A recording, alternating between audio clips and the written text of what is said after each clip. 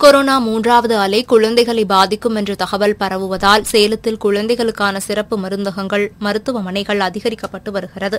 இதனிடையே செய்தியாளர்களிடம் பேசிய குழந்தைகள் நல மருத்துவர் பிரபுராஜ் மருத்துவரின் ஆலோசனை இல்லாமல் மருந்தகங்களில் நேரடியாக குழந்தைகளுக்கு மருந்துகள் வாங்கிக் கொடுப்பது அவர்களின் உடல்நலத்தை பாதிக்கும் என்றும் குழந்தைகளுக்கு தொடர்ந்து காய்ச்சல் சளி வயிற்றுப்போக்கு மற்றும் மூச்சு திணறல் உள்ளிட்ட நோய்களின் பாதிப்புகள் இருந்தால் உரிய நேரத்தில் மருத்துவரை சந்தித்து சிகிச்சை மேற்கொண்டால் குழந்தை குழந்தைகளை காத்திட முடியும் என்றும் தெரிவித்தார்.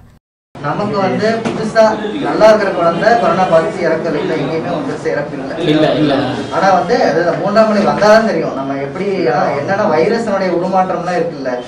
So, அதனால அதை பொறுத்து தான் வந்து அந்த இறப்பு விகிதம் வந்து முதல் நிலையை விட இரண்டாம் மலை வந்து அதிகமா பரவுச்சு. அதுக்கு ரீசன் வந்து காரணம் வைரஸ் வந்து உருமாறிட்டு இருக்கனால. இப்போ மூன்றாம் மலையிலயும் அதே மாதிரி வைரஸ் உருமாற்றம் அதிகமா இருந்துச்சு அப்படின்னா இன்னும் வந்து கண்டிப்பா பெரியவங்களோட சேர்த்து குழந்தைகள் நிறைய பாதிக்கிறதுக்கும் ஈவன் இறந்து போறதுக்குமே né? நீலகிரி மாவட்டம் குன்னூரில் சுற்றுச்சுவர்கள் கட்டுவதற்கு சுமார் ஐம்பது அடி பள்ளம் தோண்டியதால் அரசு மருத்துவமனை சுற்றுச்சுவர் இடிந்து விழுந்தது. இதனை ஆய்வு மேற்கொண்ட மாவட்ட ஆட்சியர் இதனை உடனடியாக நெடுஞ்சாலைத்துறை ஒப்பந்ததாரர்கள் மூலம் விரைந்து முடிக்க திட்டமிடப்பட்டுள்ளது என்றும் அரசு மருத்துவமனைகளில் ஆக்ஸிஜன் பிளான்ட் எக்ஸ்ரேஸ் கூடம் போன்றவை மிகவும் ஆபத்தான நிலையில் உள்ளதால் இந்த இடத்தின் உரிமையாளருக்கு ரூபாய் ஐந்து லட்சம் அபராதம் விதித்துள்ளதாக தெரிவித்துள்ளார். மேலும் இப்பணிகள் பதினைந்து நாட்களுக்குள் நிறைவு செய்யப்படும் என்றும் அவர் கூறினார். கொரோனா வைரஸ் பரவல் காரணமாக நீண்ட நாட்களாக மூடப்பட்டிருந்த பள்ளிக்கூடங்கள் கடந்த வாரம் திறக்கப்பட்டது. இதனைத் தொடர்ந்து தஞ்சை மாவட்டம் திருவிடைமருதூர் அடுத்த திருபுவனத்தில் உள்ள அரசு மேல்நிலைப் பள்ளியில் பயிலும் பனிரெண்டாம் வகுப்பு மாணவனுக்கு கொரோனா தொற்று உறுதியானது. இந்நிலையில் அப்பள்ளியில் பயிலும் மாணவர்களுக்கும் ஆசிரியர்களுக்கும் கொரோனா பரிசோதனை மேற்கொள்ளப்பட்டது. மேலும் அப்பள்ளியில் கிருமிநாசினி தெளிக்கப்பட்டும் வருகிறது. இதனை வட்டாட்சியர் சந்தானவேலு பார்வையிட்டார். கிருஷ்ணகிரி மாவட்டம் சூளகிரி அடுத்த சின்னமடப்பள்ளி கிராமத்தை சேர்ந்தவர் சுமதி. இவருக்கு தீபிகா பிரியங்கா ஆகிய இரு மகள்கள் உள்ளனர். கடந்த சில மாதங்களுக்கு முன்பு இவரது கணவர் சாலை விபத்தில் உயிரிழந்தார். இந்நிலையில் இவர்களுக்கு சேர வேண்டிய ஒன்று புள்ளி ஏழு பூஜ்ஜியம் ஏக்கர் நிலத்தை இறந்து போன பாலகிருஷ்ணனின் அண்ணன் பிரபாகரன் அபகரித்துள்ளதாக கூறப்படுகிறது. இதனையடுத்து தங்களுக்கு சேர வேண்டிய நிலத்தினை கொடுத்து விடுமாறு பாலகிருஷ்ணனின் மனைவி கேட்டபோது நிலம் ஏதும் கொடுக்க முடியாது என கூறி மிரட்டியுள்ளார். இதையடுத்து மாவட்ட ஆட்சியரிடம் புகார் மனு அளிக்க வந்த சுமதி ஆட்சியர் அலுவலகம் முன்பாக தனது இரு மகள்களுடன் உடலில் மண்ணெண்ணெயை ஊற்றிக்கொண்டு தற்கொலைக்கு முயன்றுள்ளார். அப்போது அங்கிருந்த காவல்துறையினர் மூன்று பேரையும் மீட்டனர். இதனால் இது தொடர்பாக காவல்துறையினர் விசாரணையும் நடத்தி வருகின்றனர். பல்வேறு கோரிக்கைகளை வலியுறுத்தி கிருஷ்ணகிரி மாவட்ட ஆட்சியர் அலுவலகம் முன்பு தமிழ்நாடு நெடுஞ்சாலைத்துறை சாலை பணியாளர் சங்கம் சார்பில் மாவட்ட தலைவர் அன்பழகன் தலைமையில் பெருந்திரள் முறையீடு ஆர்ப்பாட்டம் நடைபெற்றது. இதில் நாற்பத்தோரு மாத பணி நீக்க காலத்தை பணிக்காலமாக அறிவித்திட வேண்டும். உயிரிழந்த சாலை பணியாளர்களின் வாரிசுகளுக்கு கருணை அடிப்படையில் அரசு பணி வழங்க வேண்டும். ஐந்தாயிரத்திற்கும் மேற்பட்ட சாலை பணியாளர் காலி பணியிடங்களை நிரப்ப வேண்டும். உள்ளிட்ட பனிரெண்டு அம்ச கோரிக்கைகளை வலியுறுத்தி முழக்கங்கள் எழுப்பப்பட்டது. மேற்பட்ட சாலை பணியாளர்கள் பணியிட மேற்பட்ட சாலை சாலை பணியாளர் குடும்பங்களுக்கு வாரிசு வேலை வழங்கிடுங்க வாரிசு வேலை வழங்கிடுங்க வாரிசு வேலை வழங்கிடுங்க சீருடை சலவை படி சாலை பணியாளர் சீருடை சலவை படி சாலை பணியாளர் சீருடை சலவை படி வழங்கிடுங்க சீருடை சைக்கிள் படி வழங்கிடுங்க சீருடை சைக்கிள் படி வழங்கிடுங்க சமையல் எரிவாயு சிலிண்டர் விலை உயர்வு பெட்ரோல் டீசல் விலை உயர்வு உள்ளிட்டவற்றை கண்டித்து கடலூர் மாவட்டம் விருத்தாச்சலம் பாலக்கரை அம்பேத்கர் சிலை முன்பு தென்னிந்திய வாகன ஓட்டுநர்கள் முன்னேற்றக் கழகம் சார்பில் கவனஈர்ப்பு ஆர்ப்பாட்டம் மாநில துணை செயலாளர் மணிகண்டன் தலைமையில் நடைபெற்றது.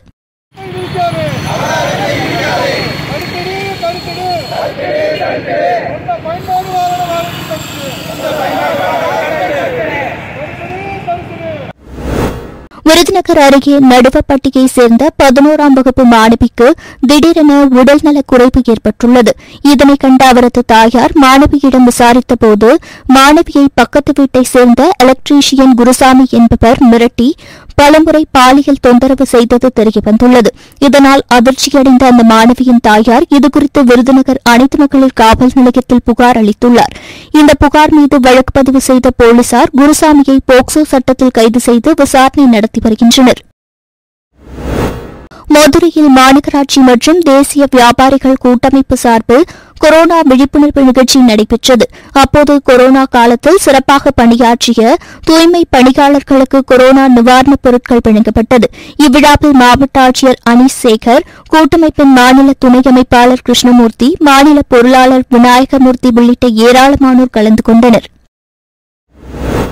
சேலம் மாவட்டம் ஆத்தூரை அடுத்த அப்பம்மா சமுத்திரம் ஊராட்சியில் உள்ள விவசாயிகள் பயன்பெறும் வகையில் ஆத்தூர் வட்டார வேளாண்மைத்துறை சார்பில் விவசாயிகளுக்கு அட்மா திட்டத்தின் கீழ் ஒருநாள் பயிற்சி அட்மா திட்ட உதவி தொழில்நுட்ப மேலாளர் தமிழ்செல்வி தலைமையில் நடைபெற்றது. இந்த பயிற்சியில் அட்மா திட்ட வட்டார தொழில்நுட்ப மேலாளர் சுமித்ரா விவசாயிகளுக்கு வேளாண்மை குறித்து செயல் விளக்கம் வழங்கினார். இந்த பயிற்சியில் நாற்பதுக்கும் மேற்பட்ட விவசாயிகள் கலந்து கொண்டனர்.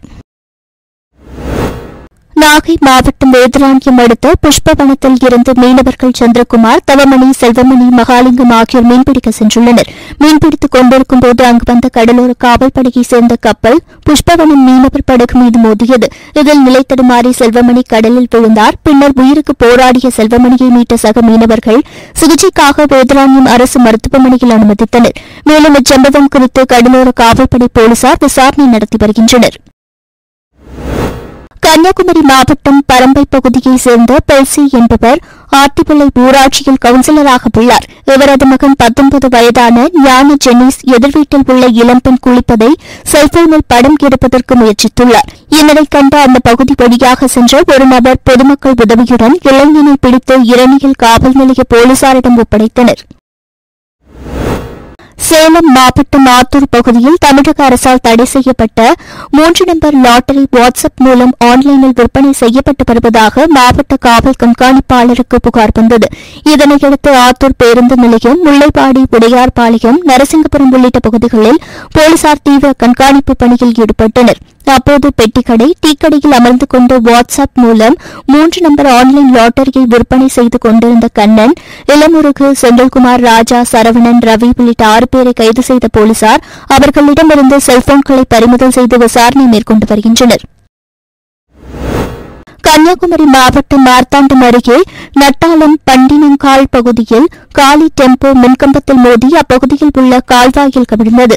இந்த விபத்தில் கலியக்காப்பளி பகுதியைச் சேர்ந்த ஓட்டுநர் சுஜின் சம்பவ இடத்திலேயே உயிரிழந்தார். பின்னர் இதுகுறித்து தகவல் அறிந்து வந்த குழித்துறை தீயணைப்புத் துறையினர் மற்றும் மார்த்தாண்டம் போலீசார் சம்பவ இடத்திற்கு வந்து உயிரிழந்தவரின் உடல் மற்றும் டெம்போவை மீட்டு வழக்கு பதிவு செய்து விசாரணை நடத்தி வருகின்றனர்.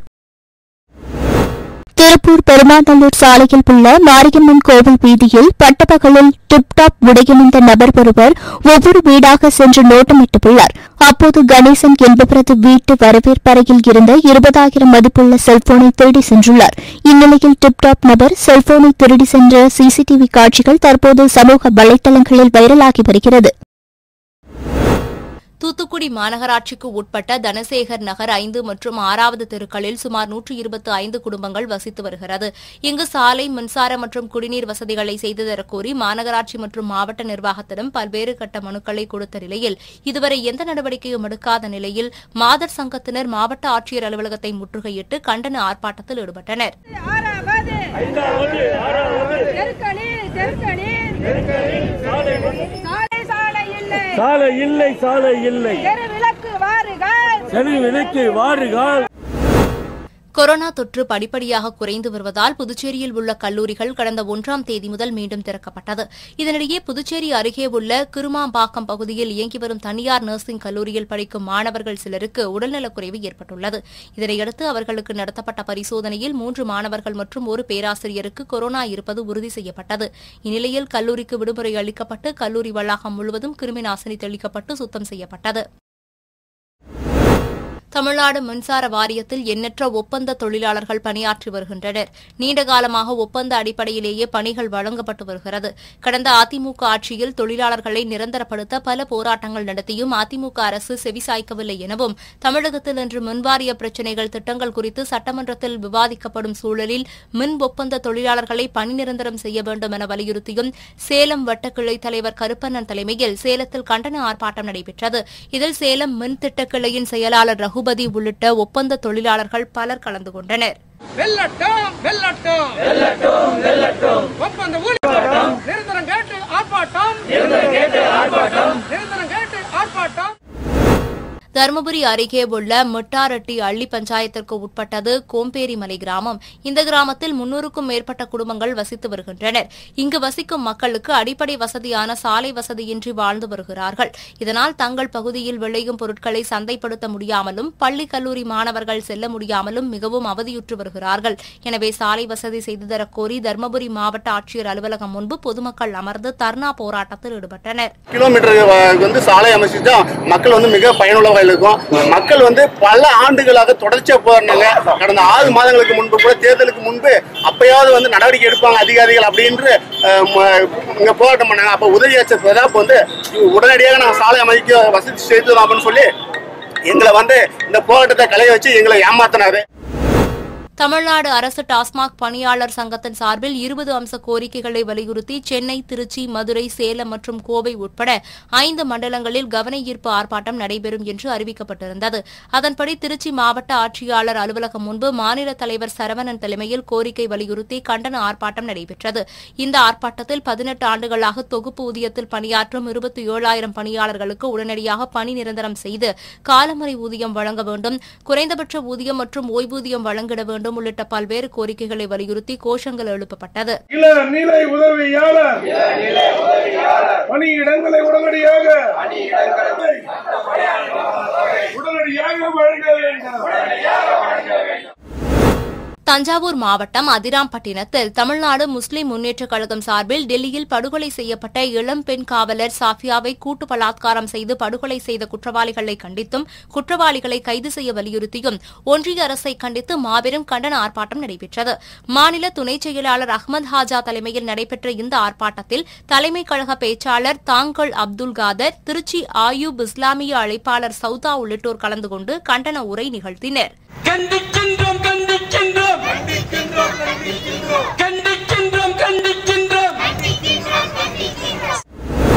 கிருஷ்ணகிரி மாவட்ட ஆட்சியர் அலுவலகத்தில் கிருஷ்ணகிரி மாவட்ட அருந்ததியர் மக்கள் முற்போக்கு நிலசங்கம் சார்பில் பர்கூர் சூளகிரி ஒசூர் உள்ளிட்ட பல்வேறு பகுதியைச் சேர்ந்த மக்கள் இலவச வீட்டுமனை பட்டா கோரி மனு அளித்தனர். இதில் ஏராளமானோர் கலந்து கொண்டனர்.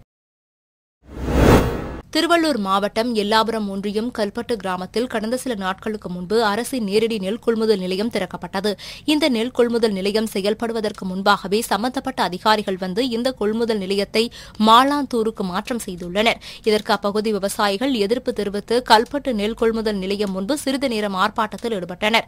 அப்போது நெல் கொள்முதல் நிலையத்தை வேறு இடத்திற்கு மாற்றுவதற்கு என்ன காரணம் எனவும் இந்த நெல் கொள்முதல் நிலையத்தை மாற்றக்கூடாது என்றும் கூறி கோஷங்களை எழுப்பினர். மாத்தாதே மாத்தாதே. மாத்தாதே மாத்தாதே. மாத்தாதே மாத்தாதே புதுக்கோட்டை மாவட்டம் பொன்னமராவதி தாலுகா கீழ்தானியவட்டம் கார்னாம்பட்டி ஊர் பொதுமக்கள் சுமார் இருநூற்றி ஐம்பது குடும்பங்களுக்கு பட்டா இல்லை என்றும் பல்வேறு காலகட்டங்களில் இதற்காக போராடியும் தற்சமயம் வரை பட்டா கிடைக்கவில்லை என்றும் கூறும் பொதுமக்கள் உடனடியாக பட்டா வழங்க ஆட்சியர் நடவடிக்கை எடுக்க வேண்டும் என்று கோரி புதுக்கோட்டை ஆட்சியர் அலுவலகத்தில் மனு அளித்தனர். இதில் அப்பகுதியைச் சேர்ந்த ஏராளமான பொதுமக்கள் கலந்து கொண்டனர்.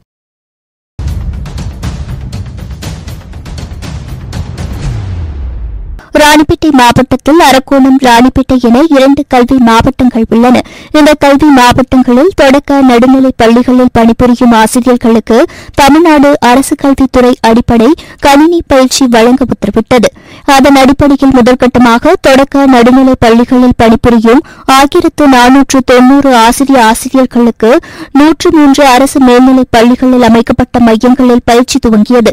இதில் ஆசிரிய ஆசிரியர்கள் ஆர்வமுடன் கலந்து கொண்டு பயிற்சி பெற்றனர். திருவள்ளூர் மாவட்டம் கும்மிடிப்பூண்டி அடுத்த புதுப்பேட்டை பகுதியில் உள்ள பழைய இரும்புக்கடை ஒன்றில் செம்மரக்கட்டைகள் பதுக்கி வைக்கப்பட்டுள்ளதாக வந்த தகவலை அடுத்து காவல்துறையினர் அங்கு சோதனையிட்டனர். அப்போது மூன்று டன் செம்மரக்கட்டைகள் பதுக்கி வைக்கப்பட்டிருந்தது தெரியவந்தது. இதனையடுத்து பழைய இரும்புக்கடையில் வேலை செய்து வந்த ஒடிசாவை சேர்ந்த விஸ்வானந்த் என்பவரை கைது செய்த காவல்துறையினர் அவர் அளித்த தகவலின் பேரில் இம்ரான் ரவீந்திரன் ஆகியோரை கைது செய்தனர். உள்ளாட்சி தேர்தலையொட்டி தமிழ் மாநில காங்கிரஸ் கட்சியின் நிர்வாகிகள் ஆலோசனைக் கூட்டம் நெல்லை பன்னாரப்பேட்டையில் நடைபெற்றது. இதில் அக்கட்சியின் தலைவர் ஜி கே வாசன் கலந்து கொண்டு கட்சி நிர்வாகிகளுக்கு ஆலோசனைகளை வழங்கினார். பின்னர் செய்தியாளர்களை சந்தித்த அவர் ஒரு சில இடங்களில் மாணவர்கள் ஆசிரியர்களுக்கு கொரோனா தொற்று நிலவுவதால் அதற்கு ஏற்ற வகையில் முன்னெச்சரிக்கை நடவடிக்கைகளை அரசு மேற்கொள்ள வேண்டும் என்று தெரிவித்தார். திருவண்ணாமலை மாவட்டம் கலசப்பாக்கம் அடுத்த கடலாடி அரசு மேல்நிலைப்பள்ளி ஆசிரியர் ஒருவருக்கு கொரோனா தொற்று இருப்பது உறுதி செய்யப்பட்டது. இதையடுத்து அவருடன் தொடர்புடைய பதினைந்து ஆசிரியர்கள் நூற்றி இருபது மாணவ மாணவியர் மற்றும் அவரது குடும்பத்தினருக்கு பரிசோதனை செய்ததில் அவரது குடும்பத்தில் மூன்று வயது மகள் எட்டு மாத ஆண் குழந்தை மற்றும் இருவர் என நான்கு பேருக்கும் அவருடன் தொடர்பில் இருந்த மற்றொரு ஆசிரியர் ஒருவர் என மொத்தம் ஐந்து பேருக்கு கொரோனா தொற்று இருப்பது உறுதி செய்யப்பட்டது. இதனையடுத்து பள்ளியை ஆய்வு செய்த மாவட்ட முதன்மை கல்வி அலுவலர் கிருஷ்ணபிரியா பள்ளியில் தூய்மை பணியை மேற்கொள்ள உத்தரவிட்டார். கிருஷ்ணகிரி மாவட்டம் ஊத்தங்கரை அடுத்த குன்னத்தூர் துணை மின் பகிர்மானத்தில் இருந்து சாமல்பட்டி நோக்கி செல்லும் ஹெச்டி மின்கம்பிகள் மரங்களில் உரசியதால் திடீரென பற்றியெறிய தொடங்கியது. சுமார் பத்து நிமிடம் பற்றியிருந்த நிலையில் மின்கம்பி அருந்து நிலத்தில் அமைக்கப்பட்டிருந்த கம்பி வேலியில் விழுந்து மின்சாரம் பாய்ந்தது. அப்போது அங்கு விளையாடிக் கொண்டிருந்த சிறுவர்கள் மீது மின்சாரம் தாக்கியுள்ளது. உடனடியாக இதனையடுத்து அக்கம் பக்கத்தினர் மின் இணைப்பை துண்டித்து சிறுவர்களை மீட்டனர். இந்நிலையில் மின்சார ஊழியர்கள் மாதாந்திர பராமரிப்பு பணி மற்றும் வாராந்திர பராமரிப்பு பணிகளை அலட்சியமாக எடுத்துக்கொண்டு செய்ய தவறியதால் இதுபோன்ற நிகழ்வுகள் ஏற்படுவதாக பொதுமக்கள் குற்றம் சாட்டியுள்ளனர். கோவையில் உள்நாட்டு தொழில்நுட்பத்தில் தயாரிக்கப்பட்ட நிலக்கரி மூலம் இயங்கும் ரயில் இன்ஜின் சோதனை ஓட்டம் மேட்டுப்பாளையத்தில் நடைபெற்றது. மேலும் அடர்லி ரயில் நிலையம் வரை சோதனை ஓட்டம் நடத்த அதிகாரிகள் திட்டமிட்டுள்ளனர். வேலூர் மாவட்டம் காட்பாடியில் உள்ள அரசினர் மகளிர் மேல்நிலைப் பள்ளியில் ஜாக்டோ மாநில உயர்மட்ட குழு உறுப்பினர் ஜனார்த்தனன் செய்தியாளர்களை சந்தித்தார். அப்போது பேசிய அவர் தமிழக சட்டப்பேரவையில் தமிழக முதல்வர் மு க ஸ்டாலின் நூற்று பத்து விதியின் கீழ் இரண்டாயிரத்து பதினேழு பத்தொன்பது வரையில் நடைபெற்ற வேலைநிறுத்தம் மற்றும் தற்காலிக பணிநீக்கம் காலம் ஆகியவைகளை பணிக்காலமாக கருதி அறிவிப்புகள் வெளியிட்டதை வரவேற்றார். மேலும் அரசு ஊழியர்கள் ஆசிரியர்களின் மீது எடுக்கப்பட்ட ஒழுங்கு நடவடிக்கைகள் சிக்கல் தீர்க்கப்படும் உள்ளிட்ட அறிவிப்புகளுக்கு அவர் நன்றி தெரிவித்தார். அரசு ஊழியர்கள் மீதான ஒழுங்கு நடவடிக்கைகள் வழக்குகள் அனைத்தும் ரத்து செய்யப்படும் என்றும் அவர்களுடைய வேலை நிறுத்த காலம் மற்றும் பணி இடைநீக்க காலம் ஆகியவற்றை பணிக்காலமாக கருதப்படும் என்றும் அகவிலைப்படியினை ஜனவரி முதல் வழங்கப்படும் என்றும் அறிவிப்பினை வழங்கியிருக்கின்றார். வழங்கியிருக்கின்றார்கள் இந்த அறிவிப்பு தமிழகத்திலே இருக்கக்கூடிய ஆசிரியர்கள் அரசு ஊழியர்கள் அனைவருக்குமே ஒரு மட்டற்ற மகிழ்ச்சியை தந்திருக்கின்றது. கோவை மாவட்டம் வால்பாறையில் மாவட்ட காவல் கண்காணிப்பாளர் உத்தரவின் பேரில் மகளிருக்கான சட்ட விழிப்புணர்வு கருத்தரங்கம் வால்பாறை காவல் ஆய்வாளர் கற்பகம் தலைமையில் நடைபெற்றது. இந்த கருத்தரங்கில் சிறப்புரையாற்றிய வால்பாறை காவல் ஆய்வாளர் கற்பகம் மாணவிகள் தங்களுக்கு ஏற்படும் பாலியல் தொல்லைகள் பற்றி தைரியமாக காவல்துறைக்கு தகவல் தெரிவிக்க வேண்டும் என்றும் பெண் குழந்தைகளுக்கான அவசர உதவி எண் ஒன்று எட்டு ஒன்று என்ற எண்ணையும் ஒன்று பூஜ்ஜியம் ஒன்பது எட்டு கட்டணமில்லா எண்ணையும் பயன்படுத்திக் கொள்ள வேண்டும் என்றும் கேட்டுக் கொண்டார். திருப்பூரில் கல்வித்துறையில் சிறந்து விளங்கிய ஆசிரியர்களுக்கு கடந்த ஐந்தாம் தேதி தமிழக அரசு சார்பில் டாக்டர் ராதாகிருஷ்ணன் விருது வழங்கி சிறப்பித்தது. இந்நிலையில் விருது பெற்றவர்களை கௌரவிக்கும் விதமாக திருப்பூர் ரோட்டரி மெட்டல் டவுன் சார்பில் நேஷன் பில்டர் விருது வழங்கும் விழா அவினாசி சாலையில் உள்ள ஏவிபி பள்ளி வளாகத்தில் ரோட்டரி மெட்டல் டவுன் தலைவர் வேலுச்சாமி தலைமையில் நடைபெற்றது. இந்த விழாவில் கலந்து கொண்ட திருப்பூர் மாவட்ட முதன்மை கல்வி அலுவலர் ரமேஷ் விருதுகளை வழங்கி கௌரவித்தார்.